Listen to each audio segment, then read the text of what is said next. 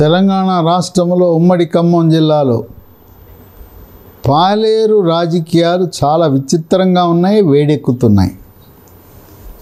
అక్కడ మాజీ మంత్రి సీనియర్ నాయకుడు తుమ్మల నాగేశ్వరరావు నేలకొండపల్లి మండలంలో రామచంద్రాపురం సమావేశంలో ఆయన ఒక సంచలన ప్రకటన చేశాడు. ముఖ్యమంత్రి కేసీఆర్ గారి ఆశీస్సులతో ఆయన యొక్క అభీష్టం మేరకు నేను పాలేరు నియోజకవర్గంలో బీఆర్ఎస్ అభ్యర్థిగా పోటీ చేస్తున్నానని ప్రకటించాడు. ఇది ఎవరు ఊహించని పరిణామం. ఇది ఆగస్టు ఏడవ తారీఖున ప్రకటించాడు. ఆగస్టు ఒకటి నుంచి నియోజకవర్గంలో సుడిగాలి పర్యటనలు ప్రారంభించాడు తుమ్మల నాగేశ్వరరావు. ఆయన ఇప్పటికే కూసుమంచి మండలం నేలకొండి మండలం ఈ రెండు మండలాలు కూడా కలిగి తిరుగుతూ ఉన్నాడు సమావేశాలు పెడుతున్నాడు.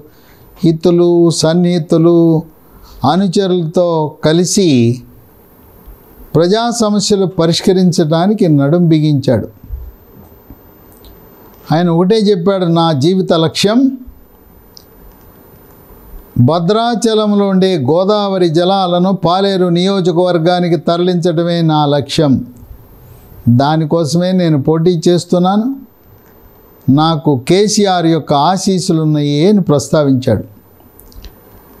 సీతారామ ప్రాజెక్టు ద్వారా ఉమ్మడి ఖమ్మం జిల్లాలో ఉండే పది లక్షల ఎకరాలకు ఒక్కొక్క నియోజకవర్గంలో లక్ష ఎకరాలకు సాగునీరు అందించే బృహత్తర ప్రాజెక్టు కేసీఆర్ యొక్క సహాయ సహకారాలతో ముందుకు సాగబోతోంది అని ప్రస్తావించాడు. సరే ఆయన చేసిన కొన్ని పనులను ప్రస్తావిస్తూ మోటాపురంలో నాలుగు లిఫ్ట్లు ఏర్పాటు చేసిన అంశాన్ని ఒకసారి గుర్తు చేశాడు. అలాగే సోదరులారా నేను పాత కాలువకు లైనింగు చేయించాననేది కూడా గుర్తు చేశాడు. మరి తుమ్మల నాగేశ్వరరావు పోటీ చేస్తే కేసీఆర్ ఇప్పటివరకు సిట్టింగులకే సీట్లు సిట్టింగులకే సీట్లు.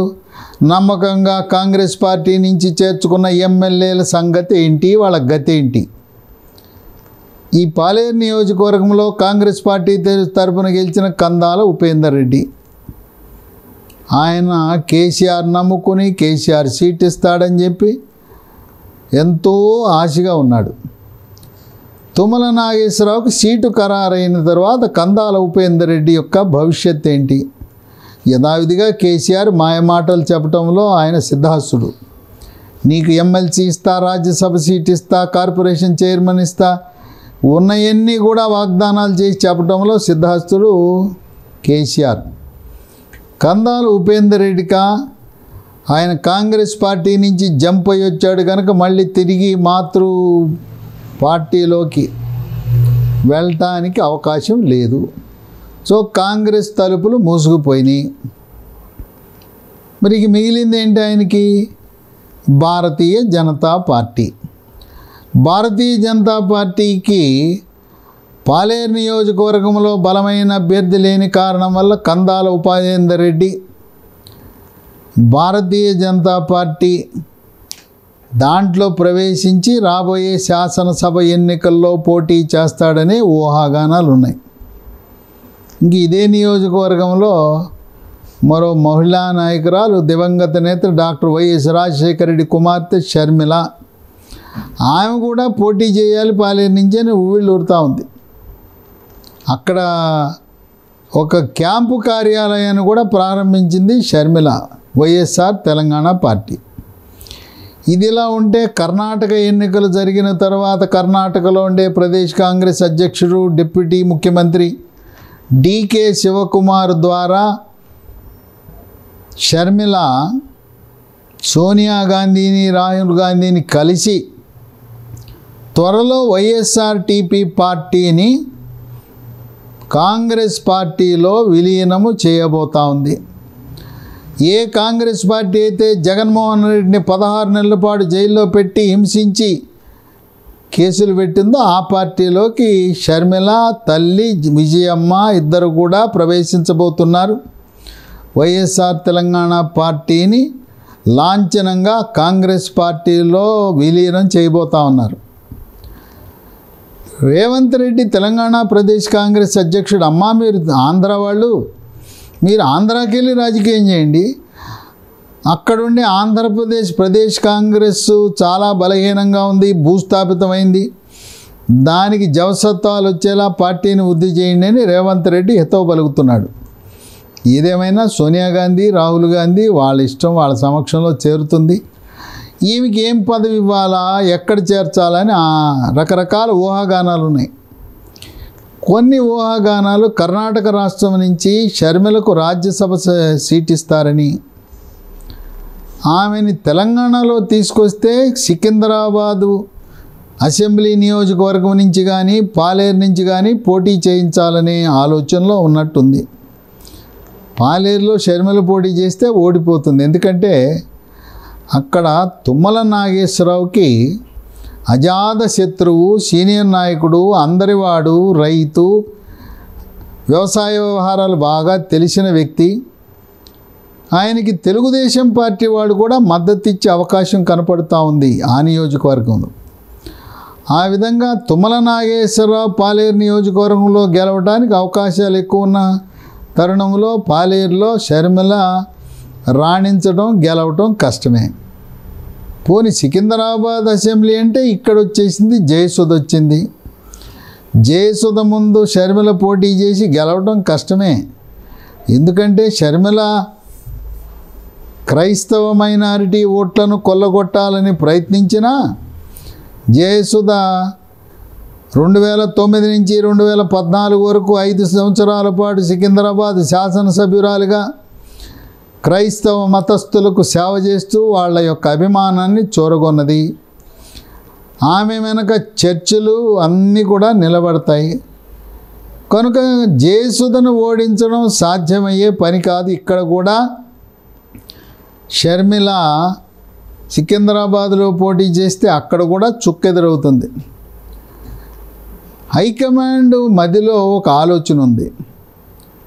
ఈ అమ్మ కూతుళ్ళను తెలంగాణ రాష్ట్రం కంటే తెలంగాణ వాళ్ళు మీరు ఆంధ్ర వాళ్ళు ఆంధ్ర వాళ్ళు మీద ఆంధ్ర పార్టీని ముద్ర వేస్తున్న తరుణంలో అక్కడ శిథిలావస్థలో భూస్థాపితమైన కాంగ్రెస్ పార్టీని పునరుజ్జీవింపజేయటానికి ఎండిపోయిన చెట్టుని చిగురింపజేయటానికి రుద్రరాజును మార్చి షర్మిలని ఆంధ్రప్రదేశ్ ప్రదేశ్ కాంగ్రెస్ అధ్యక్షురాలుగా నియమిద్దామనే ఆలోచన కూడా ఉంది. అధ్యక్షురాలతో పాటు మరొక పదవి కూడా ఇవ్వాలి. ఒక పదవి కర్ణాటక నుంచి రాజ్యసభ సభ్యురాలా. లేదు స్టార్ క్యాంపెయినర్గా ఆమెని నియమించి రెండు తెలుగు రాష్ట్రాల్లో కాంగ్రెస్ పార్టీ తరపున ప్రచారం చేయటం. లేదా ఆల్ ఇండియా కాంగ్రెస్ కమిటీలో కార్యదర్శి హోదా. లేదు మహిళా కాంగ్రెస్ విభాగములో ఒక కీలకమైన పాత్ర.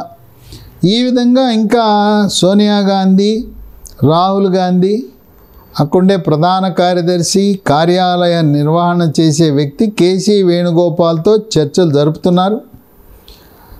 స్వాతంత్ర దినోత్సవం ఆగస్టు పదిహేను నాటికి చర్చలు కొలిక్కొచ్చి షర్మిల విజయమ్మ వైఎస్ఆర్టీపీ పార్టీని లాంఛనంగా రాహుల్ గాంధీ సోనియా గాంధీ సమక్షంలో పార్టీని విలీనం చేయబోతున్నారని వార్తలు వెలువడుతున్నాయి.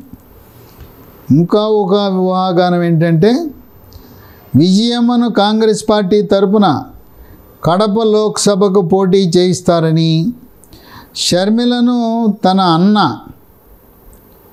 వాడుకుని తల్లిని చెల్లిని ఆంధ్రప్రదేశ్ రాష్ట్రం నుంచి తరిమి కొట్టాడని అటువంటి అన్నపై పులివెందల్లో పోటీ చేయాలనే సంకల్పం ఉన్నట్టు కూడా ఊహాగానాలు వెలువడుతున్నాయి.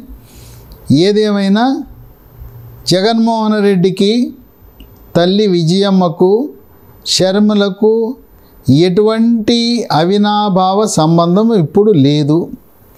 పూర్తిగా తెగతెంపులు అయిపోయినట్టే ఆయన కూడా జగన్మోహన్ రెడ్డి తల్లిని చెల్లిని విస్మరించి తన భార్య చెప్పినట్టుగా పూర్తిగా భారతి మాటే చెల్లుబాటు అవుతుంది కానీ ఇంకా మళ్ళీ జీవితంలో పాపం పదహారు నెలలు జగన్మోహన్ రెడ్డి జైల్లో ఉన్నప్పుడు నేను జగనన్న వదిలిన బాణం అని చెప్పి షర్మిల కాలుకు బొబ్బలు కట్టేలా మోకాళ్ళు నొప్పులు వచ్చేలా రాత్రినక పగలనక ఎండనక వాననక విజయమ్మ షర్మిల జగన్మోహన్ రెడ్డి జైల్లో ఉన్న పదహారు నెలలు పాదయాత్ర కొనసాగిస్తే ఆ కుమారుడు తల్లికి చెల్లెలకి ఇచ్చిన బహుమానం ఏంటంటే మీకు ఆంధ్రప్రదేశ్లో ఏం పని?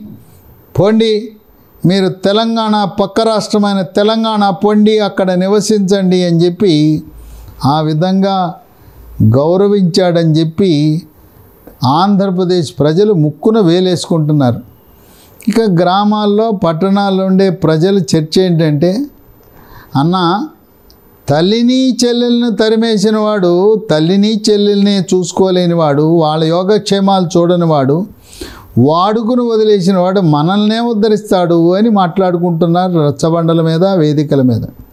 అంతేకాకుండా ప్రస్తుతం సిబిఐ ఇచ్చిన సమాచార ప్రకారం కడప లోక్సభ సభ్యుడు అవినాష్ రెడ్డికి పరోక్షంగా భారతికి జగన్మోహన్ రెడ్డికి ఉన్న వాళ్ళ ప్రమేయము కూడా బాబాయి వివేకానంద రెడ్డి హత్యలో ప్రమేయం ఉన్నదని వార్తలు ఆరోపణలు తెలుగు రాష్ట్రాల్లో గుప్పుమంటున్న తరుణంలో ఈ బాబాయికి హత్యకు బాబాయి హత్యకు సంబంధం ఉన్న ముఖ్యమంత్రి మనకు కావాలా? అనే ఆలోచన కూడా ఆంధ్రప్రదేశ్ ప్రజల్లో ఉంది.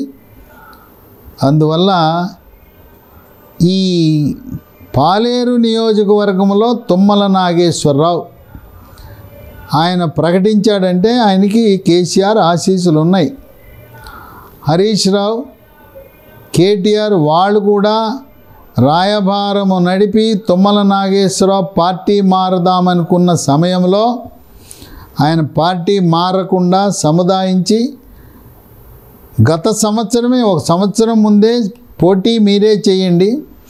పోటీ చేసిన తర్వాత కేటీఆర్ ముఖ్యమంత్రి అయినప్పుడు హ్యాట్రిక్ ప్రభుత్వంలో ఉమ్మడి ఖమ్మం జిల్లా నుంచి తుమ్మల నాగేశ్వరరావుకి మంత్రివర్గంలో స్థానం కూడా కల్పిస్తామని కేసీఆర్ హామీ ఇచ్చినట్టు కూడా రాజకీయ వర్గాల్లో చర్చ జరుగుతూ ఉంది. ఈసారి పాలేరులో తుమ్మల నాగేశ్వరరావు పోటీ చేస్తే ఆయన్ని ఎవరు ఆపలేరని అనుకుంటున్న తరుణంలో కాంగ్రెస్ పార్టీ సిపిఐ సిపిఎం ఒక అవగాహనకు వచ్చి ఈ మూడు పార్టీలు కలిసి పోటీ చేయటం ఈ మూడింటితో పాటు తదుపరి దశలో బీఆర్ఎస్ ఎంఐఎం ఐదు పార్టీలు కలిసి ఏ విధంగా రెండు వేల నాలుగు సంవత్సరంలో Congress CPI CPM MIM TRS కలిసి పోటీ చేసినాయో అదే పరిస్థితి తెలంగాణ అసెంబ్లీ ఎన్నికల్లో రావచ్చని విశ్లేషకులు భావిస్తున్న తరుణంలో తమ్మినేని వీరభద్రం సిపిఎం పార్టీ నాయకుడు మాజీ ఎంపీ. ఆయన పాలేరు నియోజకవర్గంలో ఆసక్తి చూపిస్తున్నాడు.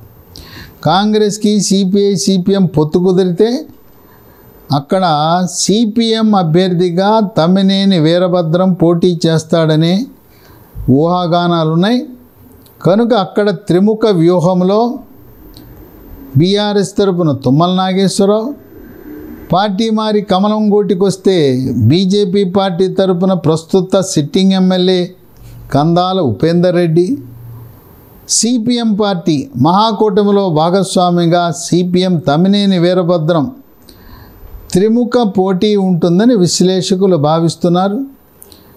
ఇంత ధైర్యంగా తుమ్మల నాగేశ్వరరావు నేనే పోటీ చేస్తున్నానని ప్రకటించాడు కనుక హైకమాండ్ ఆశీస్సులు లేకుండా హైకమాండ్ యొక్క అనుమతి లేకుండా తుమ్మల నాగేశ్వరరావు ప్రకటన చెయ్యలేదు అని విశ్లేషకులు భావిస్తున్నారు.